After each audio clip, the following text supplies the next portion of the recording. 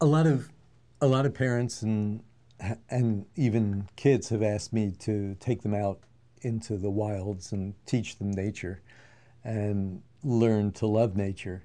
And I've always had to be a little careful about that because the world is changing so fast that if I take them out, they're going to see the harm done to the earth. And in fact, and see as they grow up, some species actually go extinct.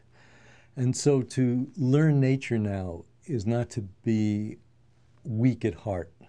You have to really become a biogladiator. And as a biogladiator, be able to go through successes and failures and absorb the pain of the earth without letting the pain of the earth kill you.